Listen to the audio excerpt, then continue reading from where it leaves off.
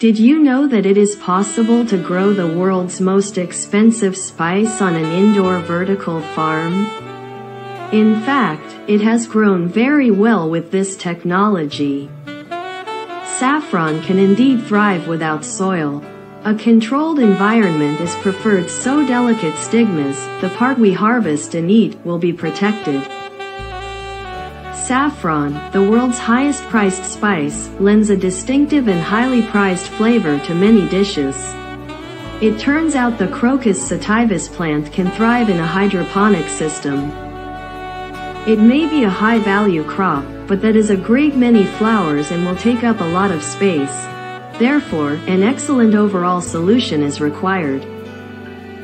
OptiClimate Farm's LED vertical planting rack covers an area of 0.78 square meters on four floors and planted 560 saffron bulbs. Our solution consists of a fully automated solar-powered vertical indoors farm. Indoor growing systems are powered entirely by solar energy, greatly reducing operating costs.